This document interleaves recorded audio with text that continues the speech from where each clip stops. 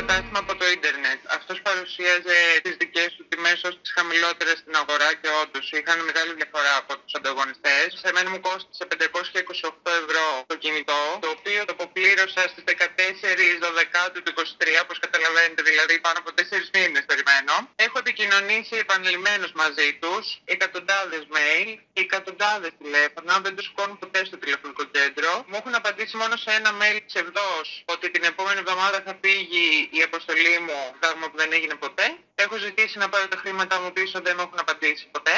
Έχει δημιουργηθεί μια ομάδα που αποτελείται από 600 μέλη και αν βάλουμε ότι ο μέσος όρος είναι 500 ευρώ στο άτομο, καταλαβαίνετε τώρα ότι αυτός ο άνθρωπος χτίζει σπίτι στις πλάτες δικές μας.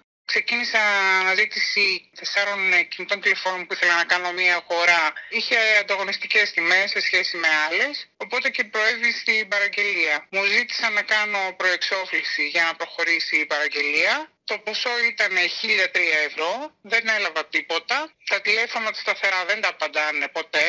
Έστειλε κάποιο δικό μου άτομο που βρίσκεται στην περιοχή, πήγε από το κατάστημα και μου είπαν ότι την επόμενη μέρα θα παραλαμβάνανε κάποια κινητά. Μέσα σε αυτά ήταν και τα δικά μου. Και μάλιστα για την εξηλαίωσή τους μου είπαν ότι θα μου στέλνανε και κάποια δωράκια λόγω της ε, καθυστερημένης παράδοσης. Ε, και πάλι δεν παρέλαβα κάτι και η τελευταία προσπάθεια που έκανα ήταν να στείλω κάποιον δικό μου άνθρωπο ξανά και να μου πει ότι το κατάστημα είναι κλειστό. Αγόρασα μια σκούπα η οποία στήχιζε 489 ευρώ. Πλήρωσα με πιστοτική κάρτα. Δεν ήρθε ποτέ. Μετά από αυτό έκανα καταγγελία στο συνήγορο του καταναλωτή και επίσης και στη δίωξη ηλεκτρονικού εγκλήματος γιατί πρόκειται για απάτη και θα πρέπει ο κόσμος να το γνωρίζει ε, γιατί ο συγκεκριμένος άνθρωπος έχει ανοίξει το site με διαφορετικά ονόματα ανοίγει, του το ρίχνουν, ξαναανοίγει, του, του το ρίχνουν πάλι. Ό,τι φαίνεται όλο αυτό το διάστημα έχει κάνει πάρα πολύ γερό κομπόδεμα. Το θέμα δεν είναι μονάχα ηθικό, που πρέπει φυσικά να πάει φυλακή, αλλά είναι και πώς θα πάρουμε εμείς οι απλοί άνθρωποι πίσω τα χρήματά μας. Είναι οικονομίες, είναι κόπη των παιδιών μας, είναι ο υδρότας μας. Έχουμε χάσει τον ύπνο μας, ε, δεν μας έστειλε ποτέ την παραγγελία που κάναμε. Χίλια ευρώ ο γιος μου μάζευε τα χρήματα για να αγοράσει ένα κινητό. Το πρώτο πράγμα που τρέξαμε να κάνουμε είναι να κάνουμε την αμφισβήτηση της συναλλαγής. Αλλά ήδη τα χρήματα είχαν περάσει στον έμπορο.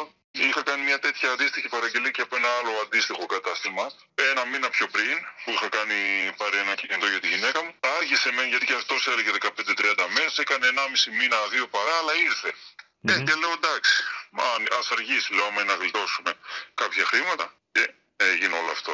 Μια μέρα αφού συνειδητοποίησα ότι πρόκειται για πετρεώνε και όταν βρεθήκαμε και με τα άλλα παιδιά, σηκώθηκα και έφυγα εδώ προειδοποίητα, λέω θα πάω στο μαγαζί να τον βρω από εκεί. Και με το που έφτασα εκεί στο μαγαζί είχε μια ταμπέλα, ένα χαρτί ότι έλεγε είναι κλειστό και θα ανοίξει σε 10 μέρες. Και εννοείται δεν άνοιξε ποτέ αυτός τώρα φοβάται τον κυνηγάνε πολύ. Το πρόστιμο.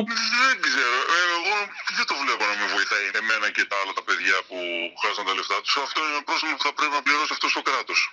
Τα δικά μας χρήματα όμως τι γίνεται; Θα τα πληρώσει με τα δικά μας τα χρήματα το πρόστιμο.